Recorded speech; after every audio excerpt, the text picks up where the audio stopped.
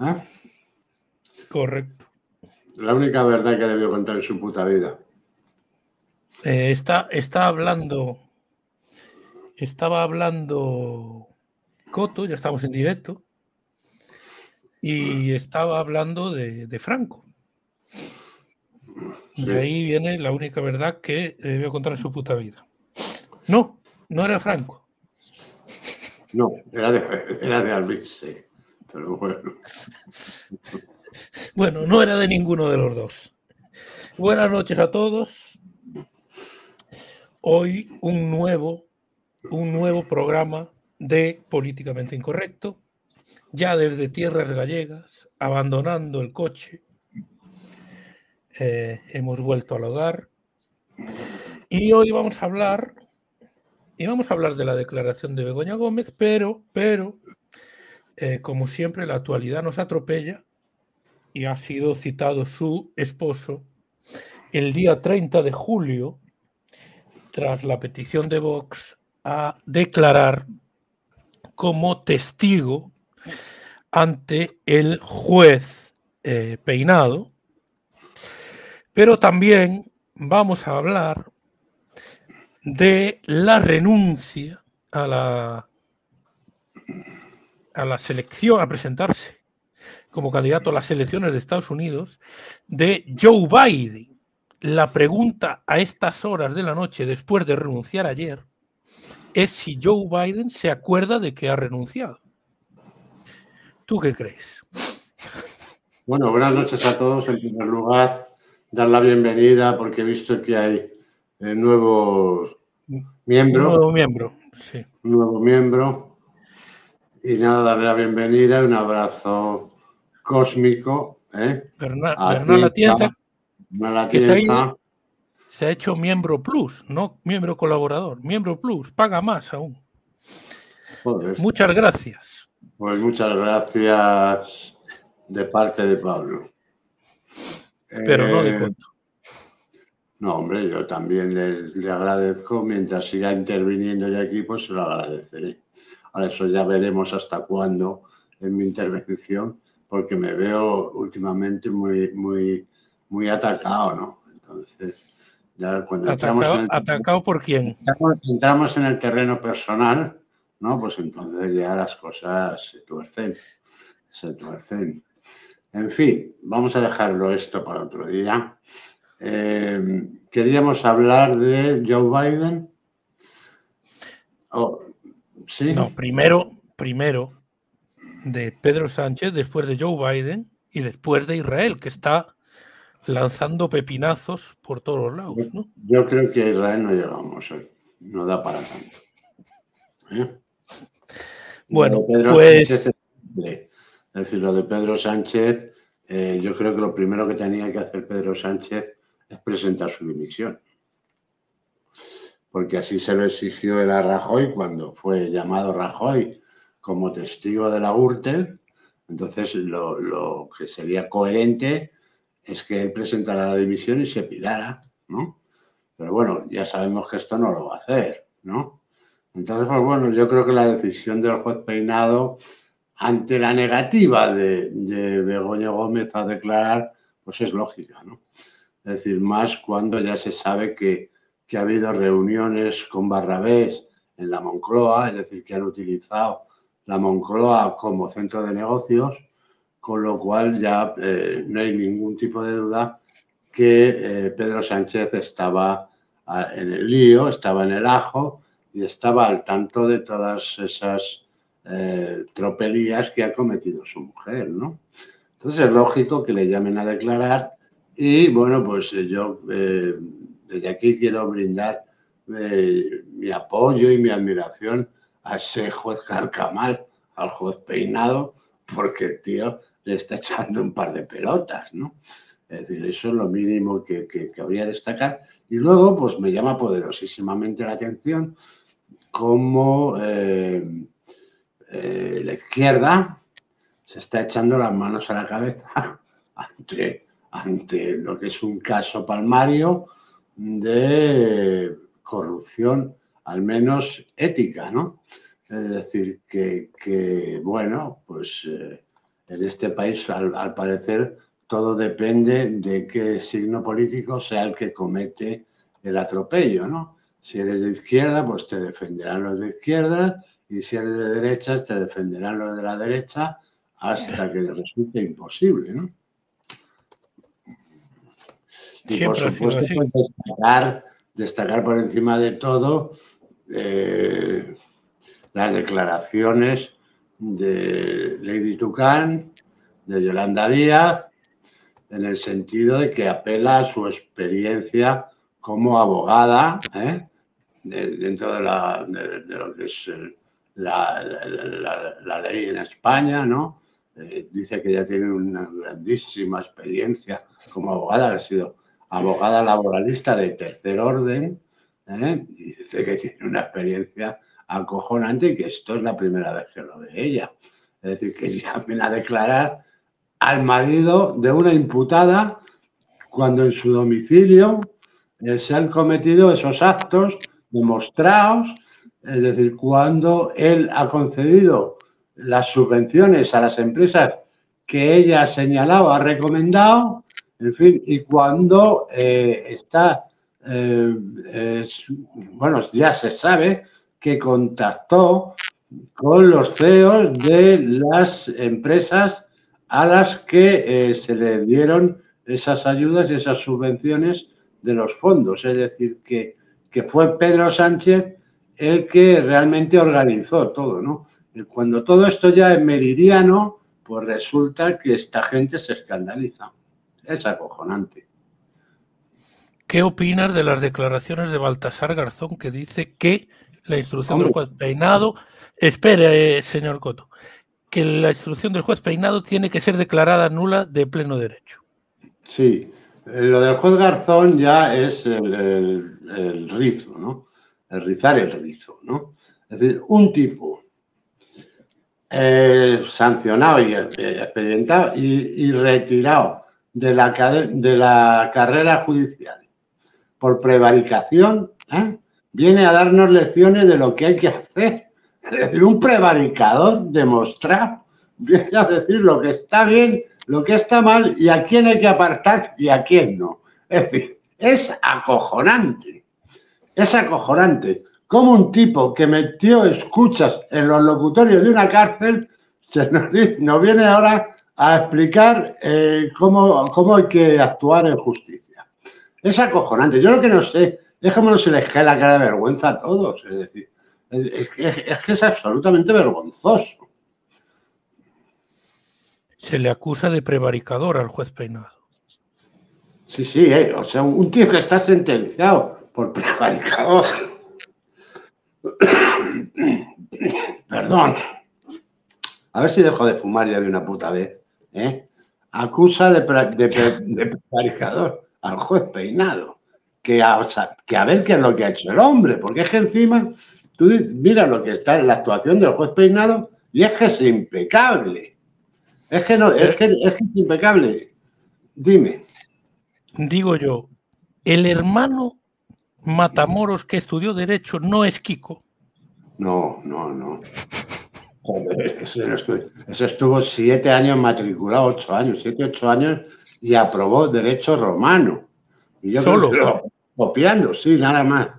Yo creo que lo copió además. Porque, porque quería saber de dónde emana el derecho. Claro, bueno, claro. No. Por supuesto sí, Yo le escuché, le escuché una vez que él tenía sobresalientes y notables varios, ¿eh? No solo uno. Varios, bueno, ni en, vamos, ni en primaria. Entonces, entonces. Ya te digo yo que me tenía que examinar por él porque era incapaz de hijo puta de, entender los números quebrados. O sea que tú te puedes imaginar los sobresalientes que tenía el men. ¿eh? Una maravilla. Eh, entonces, ¿no será mejor llamar al señor Kiko para que nos dé unas lecciones de derecho para entender mejor este caso? Yo creo que sí, yo creo que sí, que él no sacaría de duda. Debe estar a la altura de, desahogo, debe andar empatado con el juez Garzón, más o menos. Explica, explica la, la instrucción que está llevando a cabo el juez Peinado porque es impecable para ti. Hombre, es impecable, absolutamente impecable, porque está eh, llevando, primero, primero, eh, claro, se le acusaron de que eran, eh, que con unos recortes de prensa se había abierto una instrucción. ¿y qué? ¿Cuál es el problema? Con una información de prensa, pues se abre un caso. ¿Por qué no? Es decir, oiga, vamos a ver si esto es verdad o mentira, porque si esto es verdad, aquí hay un tráfico de influencias, evidente. Y luego, bueno, pues ya eh, tirando de hilito, con, con, bastante, con bastante profesionalidad, pues el juez despeinado ha ido eh, haciendo saltar por los aires todas esas coartadas que decía tener Begoña y no tiene. Eh, desde, la universidad, que va a saltar por los aires, es decir, yo creo que la Universidad Complutense de Madrid, bueno, pues hay que hacer una limpia que, vamos, eh, ni en el Fútbol Club Barcelona, es decir, hay que, hay que dejar eso, vamos, hay que echarlos a, todos, a todos, porque incluso los que acusan ahora han estado tragando antes, es decir, que, hay que echarlos a todos. Hay que investigar a esos, eh, a esos eh, empresarios que han actuado en connivencia con, con Pedro Sánchez, hay que, hay que sentarlos también en el banco es decir, porque también son delincuentes. Es decir, yo creo que aquí, en la medida que se va abriendo el abanico, pues nos vamos dando cuenta, es un retrato absoluto de lo que es la sociedad española de nuestro tiempo, ¿no? Es decir, estos son, no pasan todos de ser pícaros primarios con mucha suerte. Es decir, ya empezando por una, una mujer a la que se le adjudica una cátedra sin ni siquiera tener una licenciatura, pues bueno, pues ya, de ahí ya, a partir de ahí ya a cualquier lado podemos ir. Es decir, podemos ir a cualquier lado. ¿Por, qué, el juez Peinado no le hace caso a la Guardia Civil? Porque sabe que la Guardia Civil trabaja para el gobierno. Son unos mandados. Vamos, vamos a respetar a los cuerpos y fuerzas de seguridad del Estado. Viva la Guardia Civil. Viva la Guardia Civil. ni soy de vos, ni, estoy enfermo mental. Es decir, yo sé cosas de la Guardia Civil que no se pueden decir porque te darían la sangre. Pero vamos, eh, no creo que sea precisamente un cuerpo ejemplar, ni la Guardia Civil ni la policía en este país. ¿Por qué el juez Peinado no le hace caso a la Fiscalía? Porque ¿de quién depende la Fiscalía? Pues eso, si ya lo dijo Sánchez. ¿De quién depende la fiscalía? Pues eso, llegaremos donde tengamos que llegar. Lo de la fiscalía es otra cosa. bueno, yo creo que, el general del Estado también acabará sentado en un banquillo. Es decir, eh, Aquí, que, pueda superar esto. ¿eh? Coto, te han cazado, ¿eh? Sí. Patricia Peinado, la hija, concejal del Partido Popular en Pozuelo ya se sabe de dónde viene todo esto. Pero vamos a ver si el Partido Popular, yo, de verdad, primero que, eso no tiene nada que ver, eso no inhabilita a nadie para instruir una causa, es decir, que tu hija sea del Partido Popular como si es de, de la falange comunista del Niño Jesús. Y después hay otra cosa que es todavía más evidente, que es que el Partido Popular lo último que ha querido ha sido meter mano en este caso. Es decir, de hecho, eh, ni siquiera ha abierto en la comisión del, Senado, ni siquiera ha citado a Begoño ni a. Ni a, ni, a, Begoña. ¿Cómo? Michelle Obama y Begoña son dos mujeres. Ah, bueno, sí, bueno, pues ni a las mujeres ni a nadie, ¿no? Es decir, eh, si hay, alguien que ha querido entorpecer la causa, ha sido el Partido Popular. Entonces decir que, es que la hija del juez peinado es del Partido Popular, pues, pues, pues oye, ¿qué quieres que te diga, no? Es decir, más mérito tiene el hombre que, que está enfrentado a su hija. Eh, hoy, hoy Feijó ha pedido la dimisión de... Eh, te preguntaban aquí, bueno, la traslado yo, ¿qué te parece el tono duro de Feijó de hoy? Nah, Feijóo va ahora a favor del corriente, es decir, ya cuando la cosa es tan evidente, pues entonces se tiene que pronunciar y hacerse indignado. Pero vamos, Feijó sabe esto desde el primer día, antes del primer día, desde el día cero, ¿me entiendes?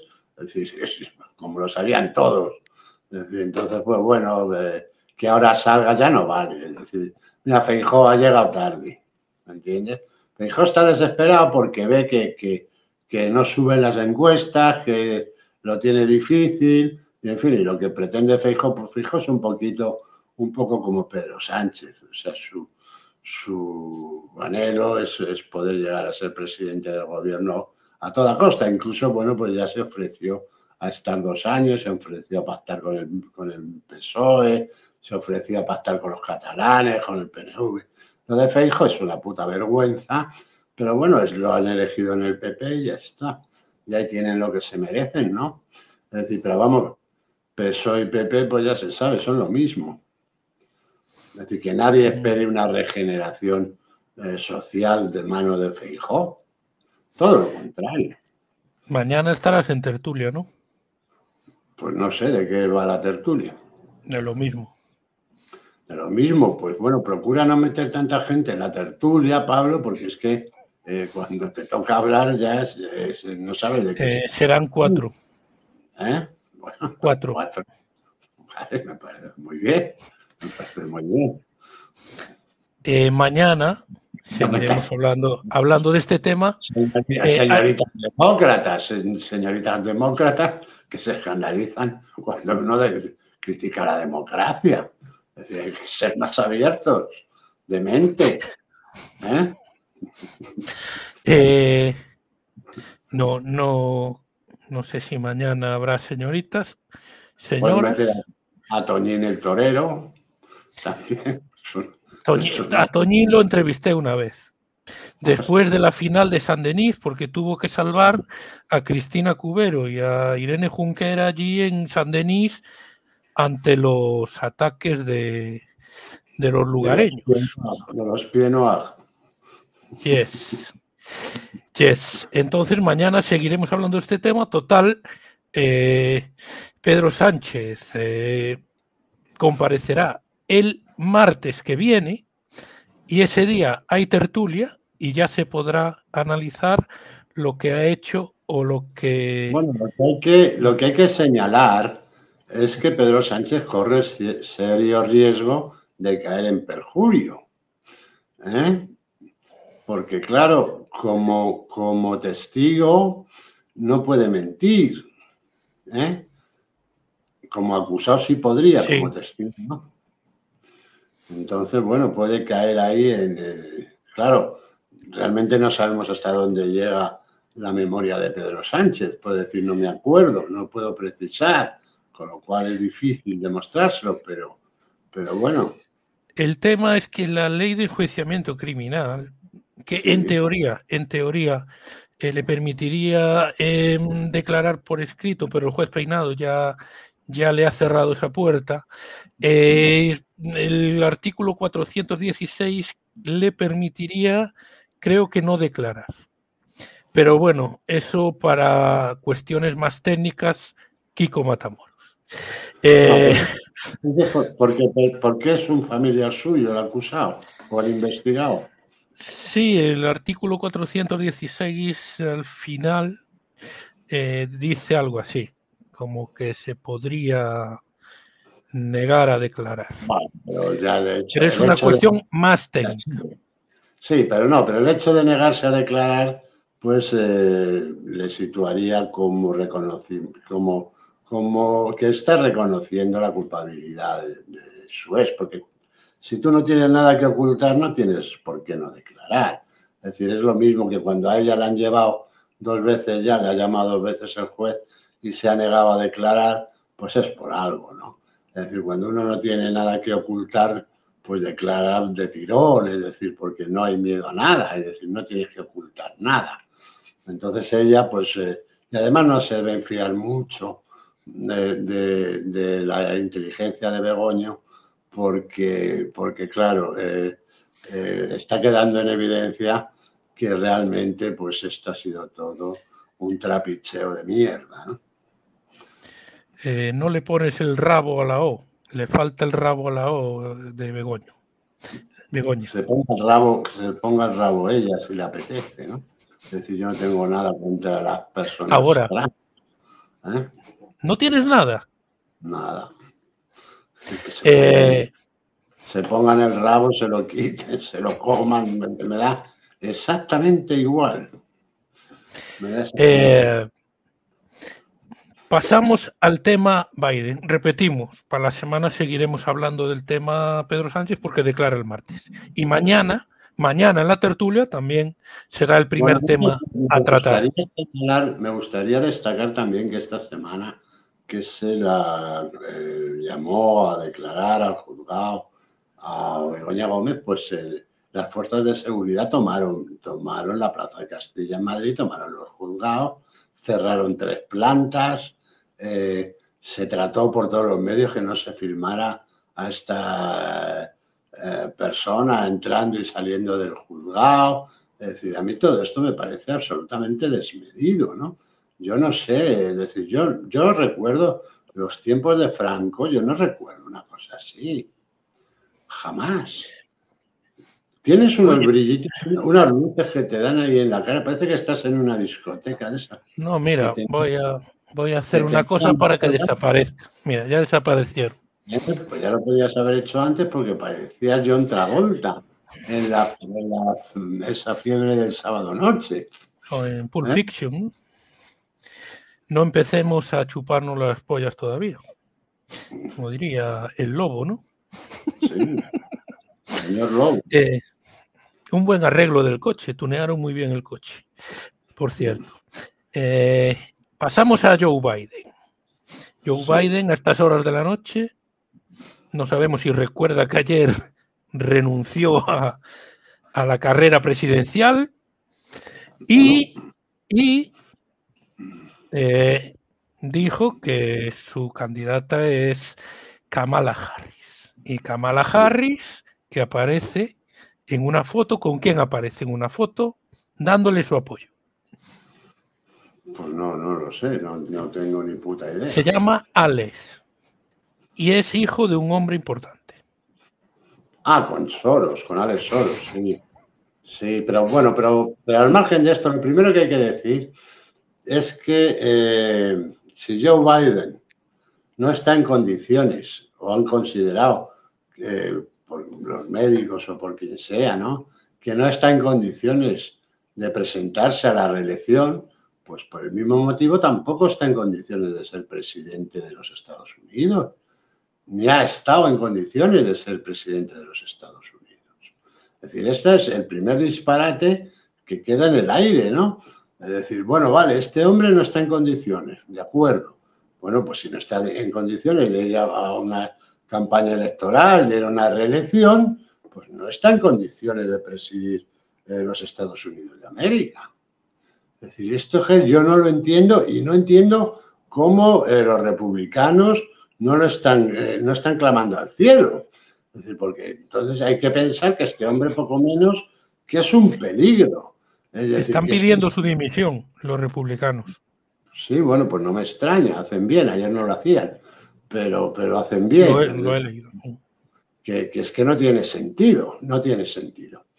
Y luego eh, también me gustaría destacar lo que ya apunté eh, la semana pasada o la antepasada, no me acuerdo ya cuándo fue el debate, es decir, eh, hace que hace 15 días o más o 20 días, que fue un fallo terrorífico de Donald Trump. Es decir, Donald Trump jamás se debía haber prestado a ese debate. Es decir, porque no hacía más que mostrar las condiciones eh, del adversario. Es decir, que aquel yo no era adversario ni era nada. Es decir, entonces todos aquellos que dijeron, ¿qué dices? ¿Qué dices? Pues, ¿qué digo? Pues mira. Es decir, y luego hay otra cosa también que, que hay que empezar a señalar. Es decir, Kamala Harris eh, poco menos es como Biden, ¿no? No es que esté tan despistada del todo, pero es una mujer que no tiene ningún recorrido, ni lo ha tenido nunca. Es decir, es una política de, tercer nivel, ¿no? De tercer nivel.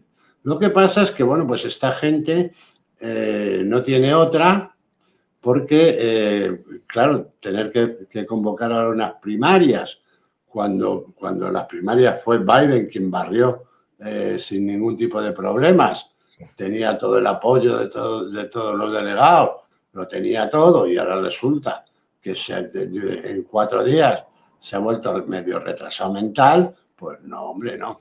Pero bueno, eh, volviendo a Kamala Harris, Joe Biden tenía ya, eh, fue, fue presentado como candidato porque, como ya he explicado varias veces aquí, el que tiene el mayor respaldo económico, ese es el que pita, ¿no? Y entonces, bueno, pues como era él el que tenía el mayor respaldo económico, pues para adelante, ¿no? Es decir, así funciona la democracia en Estados Unidos, esa democracia que la gente pone como ejemplo y que es un puto disparate, ¿no?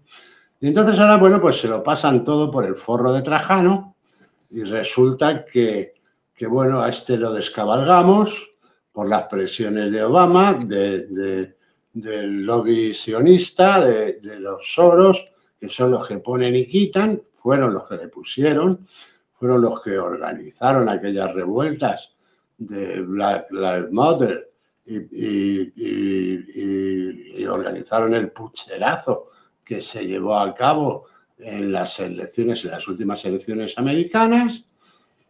Y pues bueno, vamos a ver qué pasa, ¿no? Es decir, yo creo que a Joe Biden, para haberlo sacado de ahí, le han tenido que prometer, bueno, habrán tenido que blindar a él y a su familia ante la ley, porque es mucho lo que tiene, es decir, tiene para que la Corte Suprema encierre a su hijo y a él durante el resto de sus vidas. Es decir, que nadie se le olvide que ya está demostrado que el Russian Gate fue un montaje, es decir, que entre otras cosas, y que según él, Donald Trump tiene las pruebas del pucherazo. Pucherazo que no es la primera vez que se dio en Estados Unidos. Yo me acuerdo cuando, cuando Bush hijo accedió a, la presidencia, que el de la, el de la verdad incómoda, ¿cómo se llamaba? Eh, ¿Cómo se llamaba? Sí, hombre, joder. No recuerdo, no recuerdo. Estuvieron recontando votos en Florida hasta que al final que habían votado los muertos, los primos de los muertos, habían votado todos para ver si, si, si Bush se, colocaba por delante y al final fue la Corte Suprema la que dictó eh, que, el resultado de las elecciones, pero sin recuento siquiera. ¿eh? Que había aquellas máquinas que perforaban la tarjeta. Eso sí, sí, sí. Sí, que era un desastre, vamos, era una cosa alucinante y miraban la tarjeta y decían, no, esta sí está picada, no, esta no, esta no vale, esta tampoco, esta por y salieron muertos. Fue un pucherazo impresionante. Y para, para nombrar a vos, o sea que, que, que aquí pucherazos ha habido siempre, como lo hubo en California, cuando Kamala Harris precisamente fue nombrada fiscal, fiscal del estado de California. ¿eh? Es decir, fiscal general del estado de California, su novio Brown, que, era, que fue el que, el que la lanzó a la política, que era el que, que, manejaba la política en California, fue el que nos colocó a esta tía, pues fue el que organizó las elecciones y fue el que, el que vamos, organizó el pucherazo, eh, que lo estuvo eh, recontando votos también, pues eso, hasta dos meses, ¿no?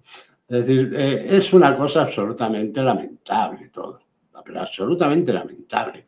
Lo de la democracia en Estados Unidos es, un chiste, es un chiste. Yo creo que aquí alguna vez eh, acabaremos viendo que aquí también se dan ese tipo de, soluciones, es decir, que no, no es solo en Estados Unidos, aquí también.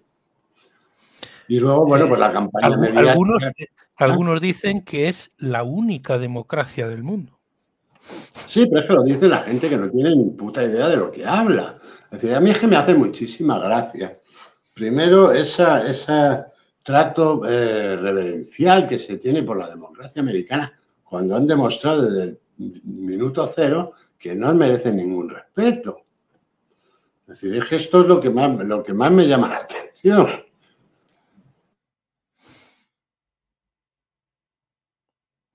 Coto se haya atascado con el, con el tabaco, te daban, te daban el nombre de, de las pastillas que se toma para dejar de fumar, pero no sé si tú eres muy de pastillas. Creo que no.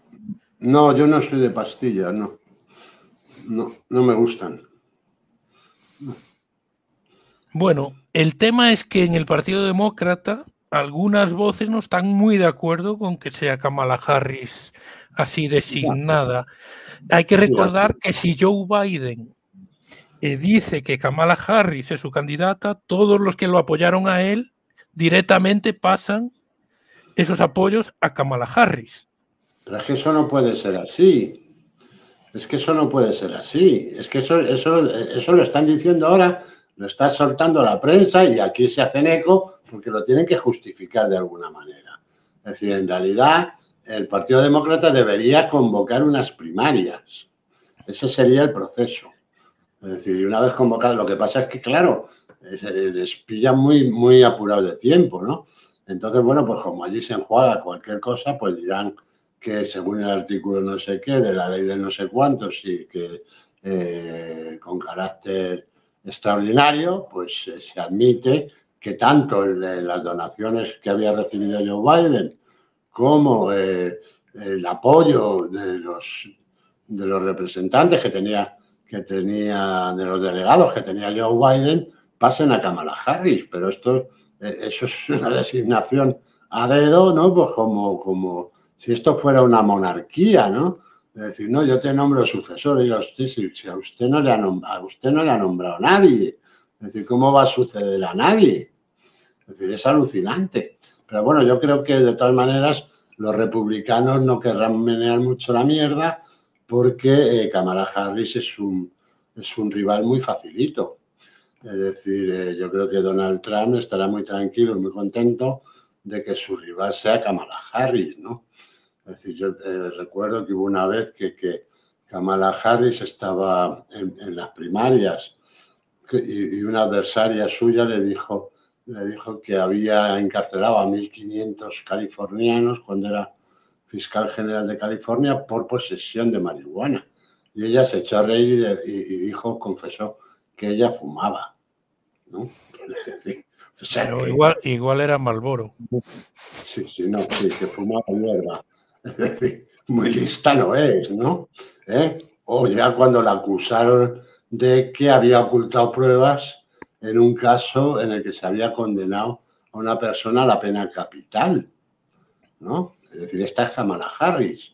Es decir, es una tipa eh, capaz de ocultar pruebas eh, y condenar a una persona a la, pena capital porque le viene bien a su, le viene bien a su política, ¿no? Es decir, eh, es gentuza, absolutamente gentuza, desde todo, desde todo punto de vista, ¿no? Es decir, es una trepa que primero utilizó a su novio para acceder a la política y luego es una inútil, ¿no? Porque Joe Biden le dio dos misiones. Una fue la del control eh, la regulación de la inmigración eh, latinoamericana, eh, lo cual ha sido un fracaso absolutamente eh, evidente, es decir, ha habido más inmigración que nunca, y, le, mandó regular la inmigración y, fue un fracaso absoluto, es que no ha hecho absolutamente nada. Y luego también la reforma de, la ley electoral, ¿no? y tampoco ha hecho nada.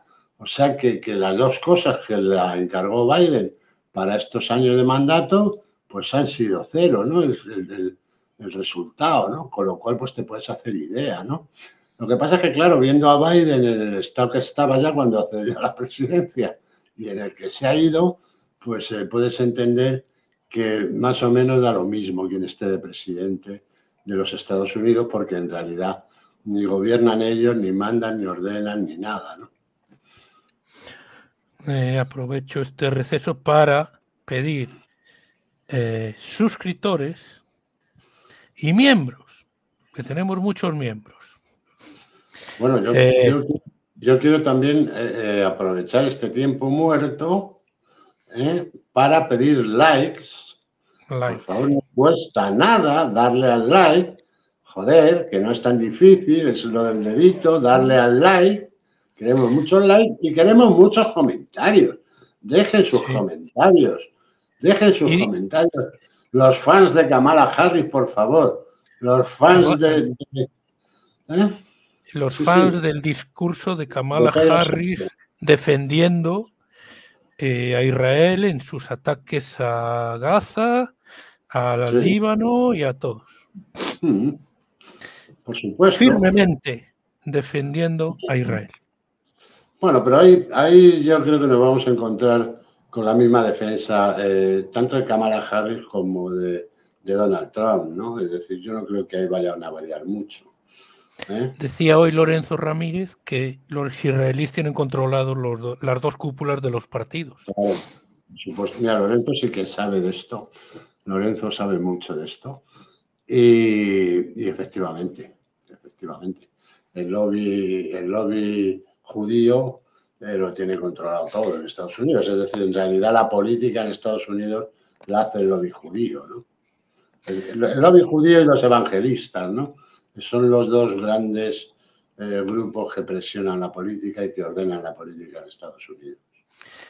¿Y eh, qué opinión tiene el del señor Banks, el, el jugador, el, el elegido por, por Trump para ser su número dos? Bueno, eh, yo creo que es un tipo con futuro.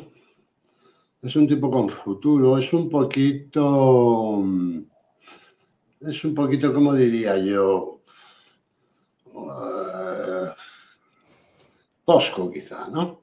Es decir, es un hombre que no pertenece a esa élite eh, de, política que viene de, abajo. Bueno, eh, Trump tampoco pertenecía a esa élite, ¿no? Pero este menos, es decir, es un, es un hombre que viene de una familia muy humilde.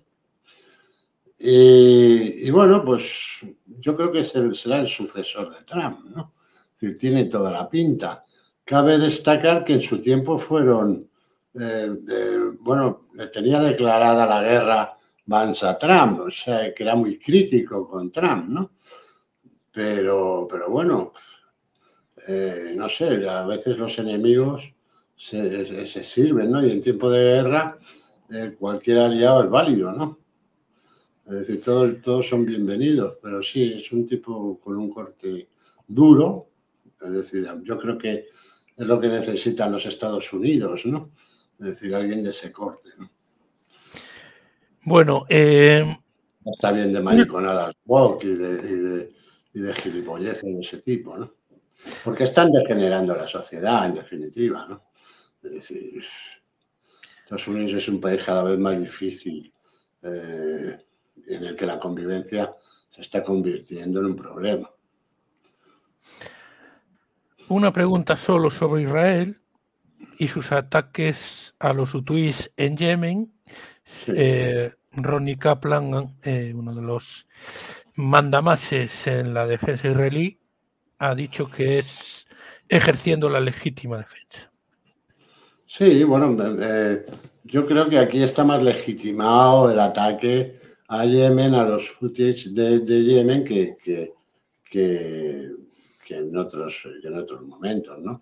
Es date cuenta que los, han, los yemeníes les han, les han eh, bloqueado un puerto importantísimo a los, a los, a los judíos y eh, se los están poniendo en chino. Lo que pasa es que a los yemeníes yo creo que les trae sin cuidado que los bombardeen, es decir, aunque los quieran borrar del mapa. Son, son una gente muy especial, ¿no? Es decir, que, eh, ni se victimizan, ni, ni claman al cielo, ni nada de eso, ¿no? Sino que responden con fuego y, y bueno, pues es otro foco más, ¿no? Que, tiene, que tienen ahí los judíos y es un conflicto que poco a poco pues, se va complicando más, que no están obteniendo los resultados eh, que prometían tener o que Netanyahu se prometía, que cada vez eh, eh, los apoyos son menores, lógicamente, porque aquello es un genocidio en toda regla. Y bueno, pues que, van a tener esa, tienen cada vez más dificultad. Yo de todas maneras pienso que Netanyahu es un tipo que lo están, eh, lo están utilizando. Es decir, es a alguien que lo están quemando. Es decir, es una, es una movida a la desesperada, ¿no? Es decir, eh, vamos a llegar con este donde nadie se atrevería a llegar. Y luego, pues diremos que sí, que, que le condene el Tribunal de la Haya, que este estaba loco y que, bueno, y que no se volverá a repetir, ¿no? Te tiene vetado, sí. Sí. Vamos a encontrar, es que me dicen que no pongo sus preguntas y después tardan 20 comentarios en hacer la primera. Entonces, a ver. La primera pregunta es de José Luis Osorio Cortés. ¿Creéis que por el caso de Begoña habrá elecciones anticipadas y el tema de la presidencia de Estados Unidos, aunque Kamala sea la candidata demócrata, tiene algo que hacer contra Trump? Muchas gracias. Muchas gracias a ti, José Luis. Bueno, yo creo que el caso Begoña, eh, tratándose de, del, personaje que se trata, eh, del cual yo me declaro admirador número uno, es decir, para mí es mi ídolo, Pedro Sánchez es un crack, que le afecta menos que la gripe, es decir, no le afecta nada. Este tipo le da todo exactamente igual. Y como además no hay una línea crítica ni desde la izquierda ni desde dentro de su partido, porque su partido es él, es decir, pues lo tiene fácil. Aún se está recuperando del, desplante de Carvajal. Está, No durmió esa noche, Pedro.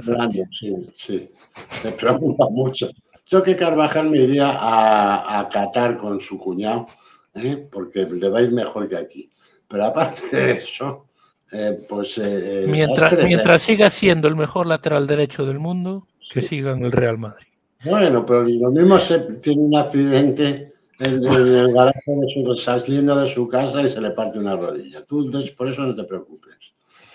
Que, pero, no, me decía luego que Kamala sea candidata demócrata. No, yo creo que Trump es muy superior a Kamala Harris, no tiene nada y los apoyos y las encuestas están muy por encima de ella date cuenta que Biden estaba muy por encima de Kamala Harris, ¿eh? en la opinión de, los votantes demócratas. Es decir, o sea que, ni siquiera Kamala tiene un respaldo, es decir, no ha ganado ninguna, ninguna primarias, no tiene el apoyo de la base demócrata. Pero, pero lo que eh, Trump sería muy superior y bueno, y en un debate se a Biden lo reventaba, a esta la va a reventar el doble. ¿eh? Es decir, no tengáis ni la más mínima duda. Eh, también hay que señalar que Trump en su día apoyó a Kamala Harris, cuando Kamala Harris se presentó a la Fiscalía General de California. Es decir, que aquí todos bueno, también Vance era muy anti-Trump. También Vance era muy anti-Trump, o sea que aquí no, por eso te digo que aquí esto es todo un lío muy, muy gordo. Pero, pero aparte de esto, eh, me decías, ah, bueno, no, yo lo que temería en el caso de Trump es que me volvieran a dar otro pucherazo, ¿no? Porque el pucherazo ya no solo es que se dé eh, físicamente, sino que es que además se da con el respaldo de los medios, ¿no? Y con la presión internacional. Con eso es con lo que se da un buen pucherazo, que es como se lo dio la otra vez. Eh, eh, creo que ya, ya la contestó José Luis Sánchez. Yo creo que ya por el simple hecho de ir como testigo en juicio debería de dimitir. ¿Cuál es vuestra opinión? Lo ha dicho. Lo dijo Sánchez en su. Lo dijo él en su día. Lo, dijo él. La dimisión de Rajoy porque fue como testigo en el caso yo entiendo si fuera coherente, dimitiría, pero, pero como no es coherente, pues no va a dimitir, por nada del mundo va a dimitir. Claro, cada uno es esclavo de sus palabras y dueño de sus silencios, pero yo creo que nadie por ir como testigo a un juicio tiene que dimitir. En todo caso, si va como investigado. Pero fueron sus palabras. Em, le digo a R-Trans, no preguntes chorradas. Y ya he hecho una. Eh, si crees que España está secuestrada por los homosexuales, que Pedro los tiene grabados en las saunas de su suegro. Vamos a ver. le digo, me dice que le ponga las preguntas, le digo, no preguntes chorradas. Y ya viene con la primera.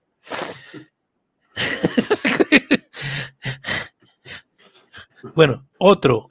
Se, rumorea que Biden está intentando pasar la ITV en Ciudad Real, pero se ha perdido camino de Talavera. Vamos a ver. Eh, este, pregunta aquí, hay muchos que preguntan por cómo se hacen miembros. Dani, Dani Mejías. Botón unirme en el canal. Es que yo no sé otra forma. Botón unirme. Unirme pero te suscribes y luego te saldrá, en el mismo botón te saldrá la posibilidad de unirte. Le das a unir, entonces te pide los datos, metes la tarjeta de crédito y te haces la inscripción que, no llega a tener. Esta es la pregunta que te pasaba antes que hacía Juanjo.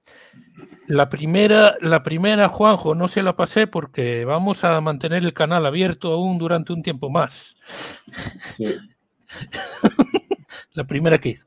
Sánchez, eh, caracol metálico. Sánchez va a decir que no sabe nada. En el caso de que no se acoja su derecho a no declarar, muy probable, por cierto, y si lo hace, no declarar, ¿qué puede suceder, Cot? Habló antes, pero si quieres. Yo, eh, digo lo de antes, es decir, si no declara, está dando por hecho que no le interesa declarar. Es decir, que no le interesa declarar quiere decir que está implicado y quiere decir que, que bueno, que se han cometido irregularidades en todos los procesos en los que ha intervenido su mujer y que todo lo que se está diciendo es cierto, ¿no? Es decir, entonces ese es el problema de no ir a declarar.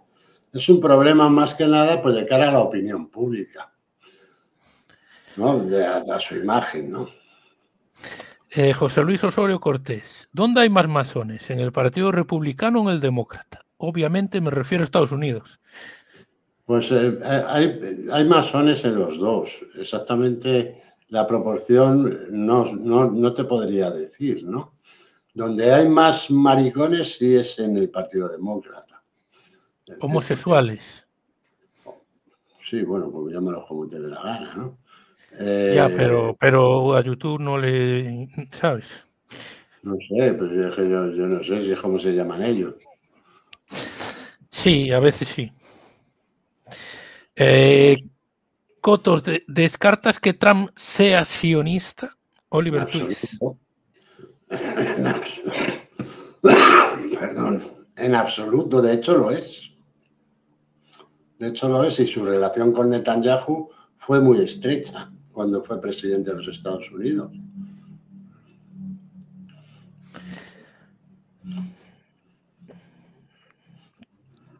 Fuma puros coto, pero sin tragar humo. No, sé si lo trago, ¿no? Si no trago el humo no me hace nada.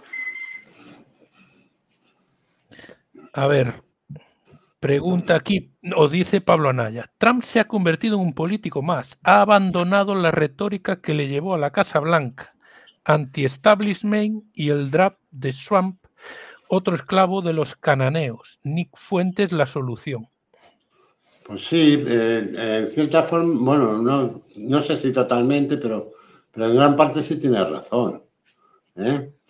Eh, yo creo que él aceptó la decisión del establishment que fue la de, la de volarle las elecciones.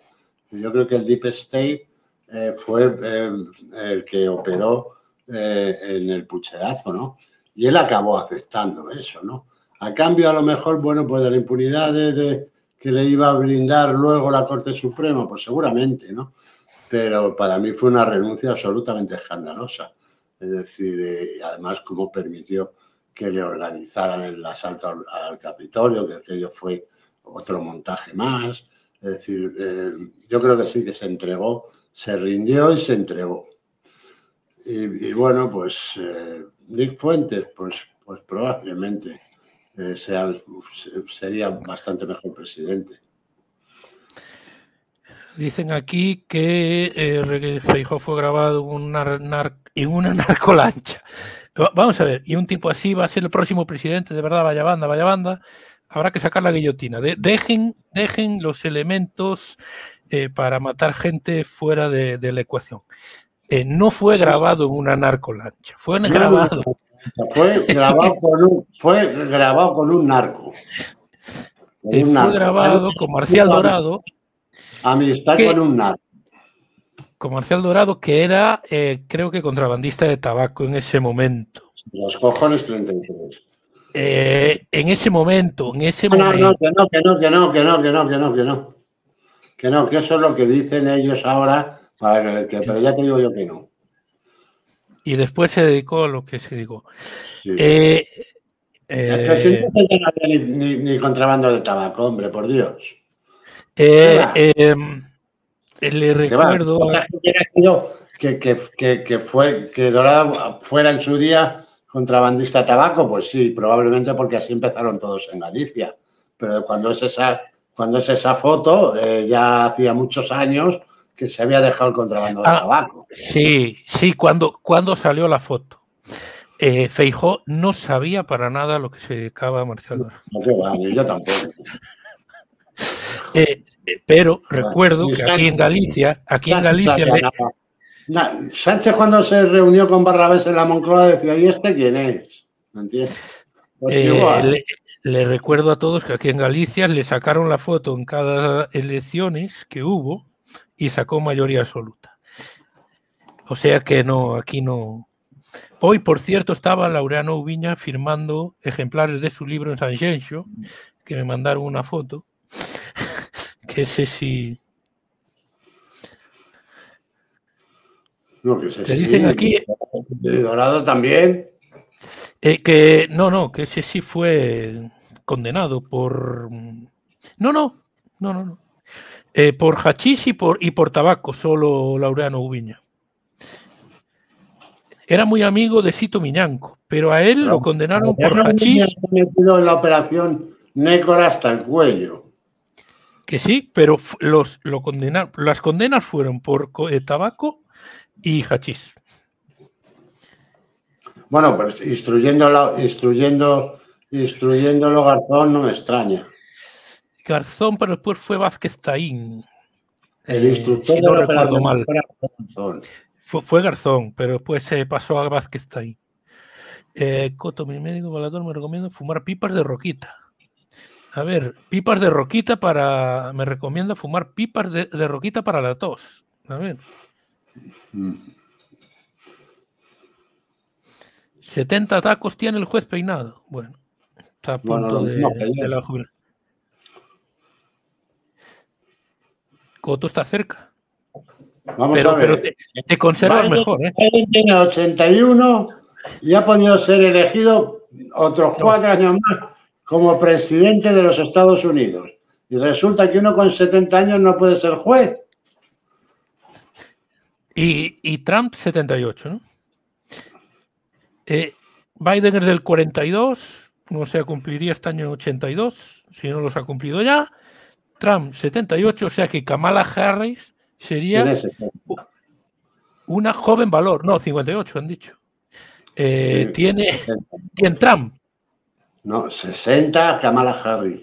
ah, pues un, un joven valor, o una joven valora, como dirían aquí, ¿no? O un joven valore, como le quieran llamar. Cree- eh, Juanjo, ¿crees que el panorama tiene una solución con alguna persona o sería por vía de una revolución de la ciudadanía? No tiene ninguna solución. Es decir, y el problema es que, sí, claro, la solución sería la revolución. Pero con este personal que está absolutamente, eh, pues bueno, eh, anestesiado, pues ¿qué revolución vas a hacer? Ninguna. Es decir, esto no tiene solución. La única solución es la personal, que consiste en el que tenga las posibilidades, pues irse a vivir fuera y olvidarse de este país, porque aquí no hay nada que hacer. A ver, Javier Canora, no sé si lo dices con ironía o no. Lo de la fiscalía es ejemplar, dice. Sí, bueno, es un ejemplo de lo que es eh, eh, la corrupción en España, sí. El fugitivo de Motril ha vuelto. Coto, ha fallecido recientemente el periodista José L. Sánchez. ¿Qué opinión tiene sobre él y su trabajo? Pues no sé ni quién es José Luis Sánchez, macho. Así que fíjate qué opinión voy a tener de su trabajo. Pues no puede. No le he visto ninguna matrícula fugitivo.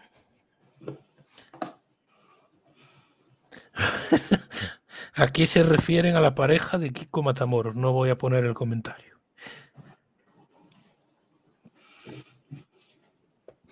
Vamos a ver. Quedan cinco minutos. ¿Sánchez creéis que tiene miedo a lo que va a pasar? José Luis Osorio. Ya, ya, lo dijo Coto antes. No, no, en absoluto. Es decir, no tiene miedo a nada. Además, es que, es que miedo a qué va a tener. Si es intocable. Es decir, un tipo que, que instaura la censura y no se pone ni colorado, ¿a qué va a tener miedo?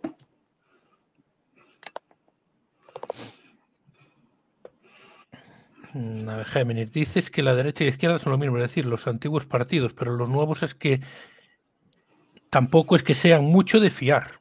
No, ninguno de fiar, ningún, ningún partido que participa en este sistema es de fiar, porque el, sistema está corrompido, la corrupción es sistémica, la corrupción está incluida en el sistema, entonces todo lo que entre en el sistema se va a corromper. Entonces, eh, eh, ya saben a lo que entran y cada uno tiene una función, ¿no? Es decir, no, no, no, esto no es al azar, ni, ni, bueno, pues eh, ningún partido de estos pequeños que entran o medianos, pues tiene ninguna posibilidad de cambiar nada, también por otro lado. Es decir, son formas de ganarse la vida. Una dictadura prosoviética es lo que hace falta aquí, menos facherío y menos wok. No vale ni para sacar a unas albóndigas pasados todos por la trituradora, dice. Aquí, pues, contundencia, contundencia. Bueno, eh, yo creo que, que Villarroya estaría muy de acuerdo contigo. Yo creo, yo no creo en lo prosoviético, más que nada porque te hacen trabajar. El problema que veo yo al, al marxismo es que es materialismo puro también. Es decir, yo creo que la solución es más espiritual que otra cosa. La solución está más en apelar a la dignidad y a la honradez de nuestros políticos que a otra cosa. Es decir, eso sería lo ideal. Te pregunta José Luis. ¿Eh? Te pregunta José Luis Osorio si con Franco también pasaban estas cosas. No, no, ni de lejos. no. tenía, no tenía la judicatura bajo control. No, no, sí, o sí la tenía, porque a lo mejor la tenía, pero es no, pero no había nadie con los cojonazos para cometer este tipo de atropellos. Oye, tu amigo Jesús, Jesús de la Cruz, compañero tuyo de tertulias, ha puesto un hoy una gráfica del PIB per cápita de España con Franco y desde que Franco ha muerto. Y es que estábamos peor que Cuba. Con Franco, decía la gráfica que puso él. Mañana igual puedes, puedes discutirle. Se habrá, fumado lo mismo que Kamala Harris. Mañana podrás discutirle esa gráfica. Ya ha interpretado la gráfica al revés, porque manda cojones. Lo que hay que oír. Peor que Cuba y Venezuela. Sí, bueno, peor que Venezuela es posible. Es decir, que nadie se olvide que Venezuela fue un país rico. No, que muchos españoles se fueron a Venezuela por supuesto. Y a Argentina. Canario. Y a Argentina. No, pero Venezuela, Canario, media, media, Islas Canarias, esto se fue a Venezuela. y gallegos no, gallegos no. Menos, menos. Eh, gallegos es más el, eh, a la Argentina y a, y algunos a Estados Unidos, como los asturianos. Los asturianos tiraron mucho a Estados Unidos. Gallegos fueron sobre todo a Argentina y bueno, pero, también como eh, República Dominicana, también había, había gallegos en Cuba. En Cuba había mucho gallego también. Pero bueno, con, la revolución vinieron de vuelta. ¿Por qué crees que se fueron tantos gallegos? Porque aquí se pasaba más hambre que, el perro un ciego. Es decir, que, a nadie se le olvide qué condiciones había en España. Claro, si, si, si la gráfica que hace Jesús desde la posguerra, pues fíjate, pues claro, no, no, no. ya te digo yo que en los años 60 no, que desde el despegue económico de España hacia adelante, ya te digo yo que esa gráfica no vale para nada. Eh, no, no, no, eh, sigue por debajo en los 60 de, los países hispanoamericanos. Que no, que no. Que no. Si lo dice Jesús de la Cruz, es un hombre eh, que, va a misa todo lo que dice. Sí. En la misa no eh, va, pero él dice sí. Coto, en el caso de Begoña Gómez, ¿crees que Pedro Sánchez tiene la sartén por el mango y nada pasará? Y vamos, y vamos a obviar la ironía. Pues sí, tiene la sartén por el mango. Lo que pasa es que, la sartén es muy débil. Te pregunta aquí Gamesbone si no nos parece raro que eh, dejaran a Biden hasta ayer. Pues ya lo hemos dicho antes. ya lo hemos dicho antes, pero es que no solo hasta ayer. Es que yo creo que Donald Trump cometió un error de tres pares de cojones. Es decir, lo tenía que haber dejado ya cuando no hubiera solución. De llegar al debate ya con la campaña. Es decir, que no hubiera solución, que no lo pudieran haber cambiado. Pero bueno, yo qué sé. Doctores tiene la iglesia. Aquí un elogio para ti. Eres una auténtica estrella. Qué suerte tengo. ¿Eh? Decía, decía Mary Loren en un, en un vídeo, un comentario, que a pesar, de que te a, pesar de que te metes mucho con Vox, eh, que le encanta oírte. Bueno, yo no me meto con Vox especialmente. Es decir, lo que pasa es que lo que no hago es mirar para otro lado. Yo creo que hay cosas buenas que tiene Vox y cosas malas. Bueno, pues preguntan si Biden hubiese se hubiese ido por su propio pie si no lo hubiesen presionado difícilmente. No, no, él estaba, no, no, no. Él había tomado la, resolución de presentarse y no se quería ir. El debate hizo. Ah, pregunta Juan. Lo han sacado a la fuerza. El debate hizo que fuese mayor la probabilidad del atentado que sufrió Trump al ver la clara derrota. Pues sí, seguramente. Seguramente sí, sí. Última pregunta, que ya nos pasamos de hora. ¿Algún libro que recomiendes para su lectura? Que yo el, mismo libro, que es el Ulises de James Joyce. Pero te tiene que gustar mucho la literatura, porque si no, eh, eh, a lo mejor se te hace aburrido. ¿no? Para mí es divertidísimo, es uno de los libros más divertidos que existen pero, pero claro, no es un libro para todo el mundo, la verdad. Yo voy a recomendar otro, mira, mira. Ancelotti. ¿Eh? ¿Eh? ¿De quién es el libro? El libro de Chris Brady y Mike Ford. Eso es que los entrenadores compramos libros de fútbol. Sí, bueno. Eh, espera. Tengo otro. Tengo otro de Ancelotti. Ah, este. Lo tengo aquí. Mi árbol de Navidad. Aquí explica el sistema 1-4-3-2-1 que utilizó en el Chelsea y a veces en el Milán. El árbol de Navidad. Bueno, pues eh, nos despedimos por hoy. Mañana tertulia a las ocho y media, donde trataremos los mismos temas y Coto le explicará a Jesús por qué con Franco iba tan bien la economía en los años 60 y 70. No, pues yo no te voy a explicar si son cifras. Eh, él tiene otras, a ver de dónde las ha sacado. Tendrá lo que le salga los huevos. Es que una cosa es salir de la, una cosa es la posguerra. Por, supuesto que España estaba en la más absoluta de las ruinas. Eh, había hambrunas incluso en España. Es decir, había grandes dificultades y otra cosa fue el despegue, el milagro español.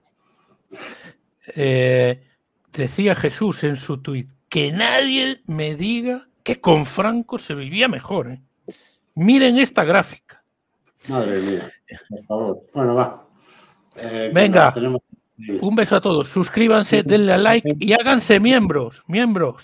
un abrazo cósmico, háganse miembros, denle al like, que no cuesta dinero suscríbanse que no cuesta dinero y háganse miembros que cuesta muy poco dinero.